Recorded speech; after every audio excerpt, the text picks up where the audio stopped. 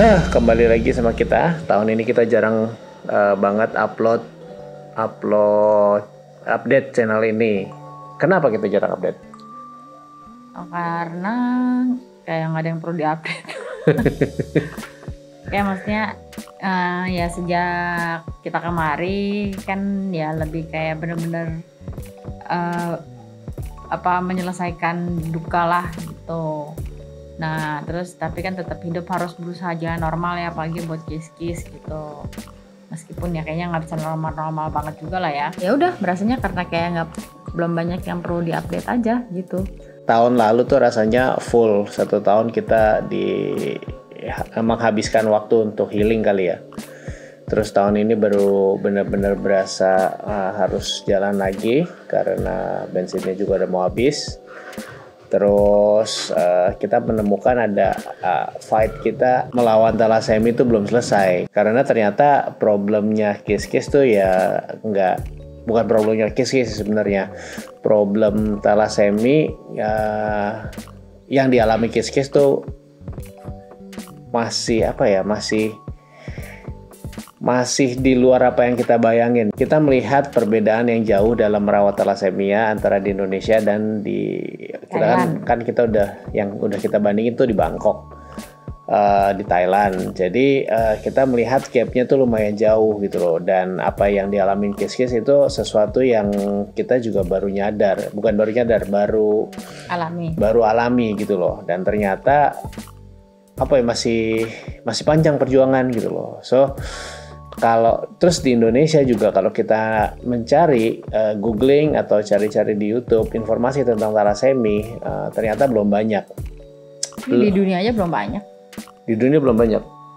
Uh, Maksudnya seenggaknya yang bahasa yang aku bisa kan Indonesia Inggris ya di Inggris sendiri pun nggak banyak gitu. Banyak kan kalau aku cari pun itu antara keluarnya cuman Wikipedia atau rumah sakit yang menyediakan maksudnya kayak rumah sakit menerangkan kayak uh, thalassemia itu apa sih? Terus harus tindakan selanjutnya itu apa sih? Gitu kayak rumah sakit rumah sakit yang ada memang merawat thalassemia. Terus ketiga ya jurnal medis. jurnal medis iya. Jurnal artikel medis.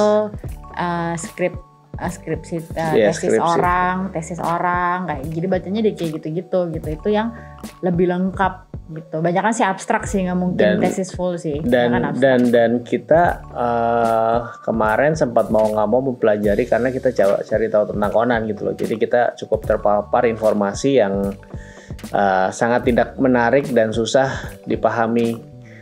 Uh, kalau kita merawat jalan lah intinya. Kalau kita ngerawat sambil lalu gitu loh. Karena nggak uh, nggak memang nggak gampang dan dan bacanya juga mumet banget. Cuman waktu itu karena kita uh, terpaksa pengen tahu cari tahu kondisinya Conan gimana jadi kita terpaksa cari tahu. Dan waktu itu kan kita memang nggak punya waktu apa nggak punya kegiatan lain selain fokus pengobatannya Conan kan. Jadi uh, kita ngelihat banget. Yang kita lihat aja yang menurut kita udah banyak tapi yang kita itu belum belum pernah kita tahu sebelumnya gitu loh jadi uh, perjuangannya tuh masih masih belum bisa belum bisa benar-benar bernapas lega meskipun ya udah lumayan ngaso tapi ya belum bisa benar-benar lega gitu loh. Kita kan berpikir uh, tadinya kita berpikir ini kondisi yang gawat banget tapi ternyata kita lihat di luar uh, kayak video-video video sebelumnya waktu kita ngobrol sama si dokter Ludi itu kan ternyata kan di luar bisa ada hidup normal. A, iya bisa hidup normal gitu loh. Ada yang Maksudnya bisa bisa hidup normal itu bukan hidup normal seperti yang kita bayangkan di sini bisa. Nggak seperti orang kondisi orang normal lah. Iya, pokoknya life life eh, boleh dilihat life ekspektasinya tuh jauh banget dibanding di sini dan di luar negeri gitu. Intinya gitu. Iya, uh, secara ini juga secara kegiatan kan secara ada kegiatan. yang bisa yang yang bisa maraton gitu loh. Gue aja nggak bisa maraton ini ada uh, penderita thalassemia mayor yang bisa maraton itu kan uh, sesuatu yang sangat-sangat sangat-sangat luar biasa gitu loh. Nah, cuman kan secara treatment Pak beda beda banget dan dan itu yang kita lihat gitu loh.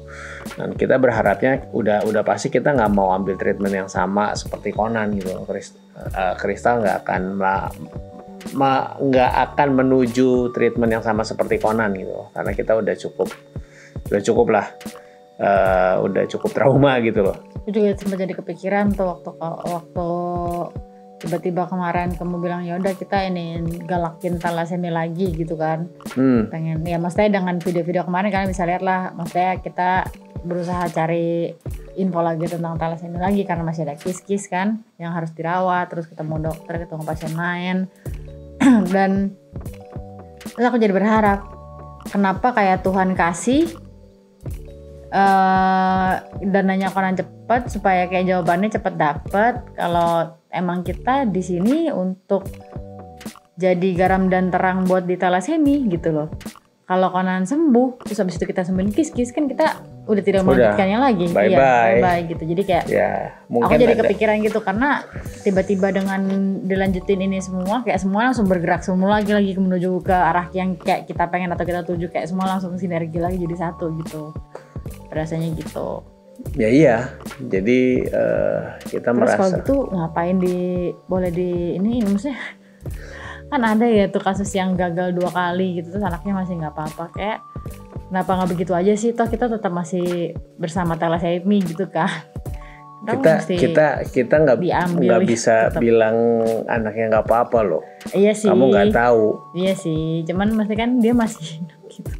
Ya iya. Tapi tapi Oke, ya, nanti ya, nanti kita beda, cerita ya. Maksudnya, beda lagi, beda lagi pasti kasusnya pasti beda-beda, nggak cuma tetap aja kayak ada rasa di, ya. penyesalan kan untuk kenapa sampai kenapa mesti anak gua sih gitu kan? Atau misalnya ya udah deh kalau misalnya nggak usah disembuhin, duitnya nggak usah kekumpul deh.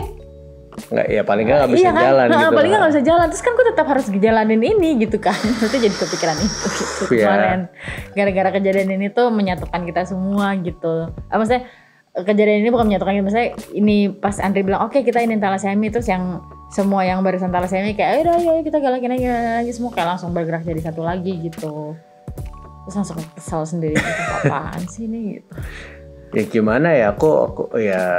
Kan kesal sama orang ya tapi kesal sama situasi gitu kayak kena, terus kenapa mesti sampai segitunya gitu. Kenapa lo nggak usah kumpulin kita duit terus kita nggak usah jalan? Ya udah gitu kan Iya, ya mungkin ya itu greater goodnya yang yang kita nggak tahu juga. Greater good buat big picture-nya, meskipun kita ah nggak tahu lah nggak bisa nggak bisa bilang nggak bisa bilang gak udah bisa selesai bilang. pokoknya ini kita sekarang kenapa kita bikin video ini kita mau kasih tahu kayak planning kita ke depannya gimana dan so, kita yeah. berharap kalian juga tetap bisa bantu bukan bantu ya support kita di perjalanan di next chapter kita berikut inilah gitu. Ya, dan arah channel ini mungkin ada agak sedikit sebenarnya nggak berubah ya. Sebenarnya nggak berubah. Kita jadi uh, makin banyak Iya, jadi mungkin variatif. Jadi bergerak uh, arah arahnya kalau kalau sebelumnya kan kita pakai channel ini untuk awareness talasemi dan uh, sekaligus udah bergerak lagi udah berubah. Tadinya kan buat memori keluarga doang. Iya, awal memori apa uh, jurnal keluarga doang, terus habis itu jadi awareness uh, talasemi yang yang uh, apa uh, kasih lihat uh, treatment BMT yang katanya bisa uh, merupakan jawaban dari uh, talasemia, problem talasemia. Ternyata uh, treatmentnya yang angkatan kita Conan fail, di mana kita melihat yang sangat mulus juga gitu loh. Uh, dan dan ya itu dan dan Conan fail, habis itu kita pulang, uh, kita bingung mau ngapain. Uh, satu tahun kita proses grieving. Tahun satu tahun setengah. Ya satu setengah. Ya aku aku rasa sampai tahun lalu full. Tahun tahun lalu. Iya ini gimana? Udah dua tahun. Ke depannya channel ini akan tetap kita pakai buat awareness semi. Uh, kalau kemarin kita berusaha untuk treatmentnya tapi sekarang kita untuk uh, apa ya informasi sarana untuk berbagi informasi buat teman-teman uh, pejuang talasemi yang masih baik yang talasemi pejuang talasemi maupun yang sehat yang sehat yang sehat iya mesti okay. awarenessnya oke okay. uh, jadi uh, agenda talasemia selalu kita berusaha untuk memutus mata rantai talasemi yaitu kita berusaha supaya generasi selanjutnya nggak ada yang punya penyakit ini lagi karena pertama tanggungan BPJS itu sangat intinya mencegah lebih baik daripada mengobati. Iya, pokoknya ke, ke depan tanggungan BPJS akan habis buat talasemi kalau misalnya ini nggak nggak dicegah karena dengan jumlah uh, orang yang ditanggung tidak sebanyak yang lain ini udah masuk uh, top 10 top top top 5 atau top 10 lah yang pasti uh, biaya yang di biaya BPJS yang di, uh, yang yang dihabiskan untuk merawat ini gitu loh. So uh, ya itu channel ini tetap akan jadi jurnal tempat kita uh, jurnal keluarga kita plus uh, awareness tentang talasemi kita akan berbagi sebanyak mungkin informasi uh, buat referensi buat kalian yang mungkin ada mungkin kalian mengalami punya anak talasemi merawat uh, penderita talasemi atau kalian punya teman-teman yang baru ngalamin ini dan bingung cari, cari informasi ke mana kalian boleh cari uh, kasih kasih channel ini, kasih link channel ini. Kita bikin playlist, playlist tentang thalassemia mayor. Kalian cek di sana, video-videonya kita akan kumpulin di sana. Gitu loh. So, gitu arahnya. Uh, hopefully kalian support channel ini juga. Uh, share ke banyak orang, banyak orang yang terutama buat orang yang buat teman-teman mau yang mau nikah atau mau punya anak, pastikan mereka lihat uh, lihat video ini supaya mereka benar-benar aware dan lakukan screening supaya memutus mata rantai thalassemia ke generasi selanjutnya. Oke, okay? hopefully uh, jadi blessing. Bye. Hmm. Oke. Okay.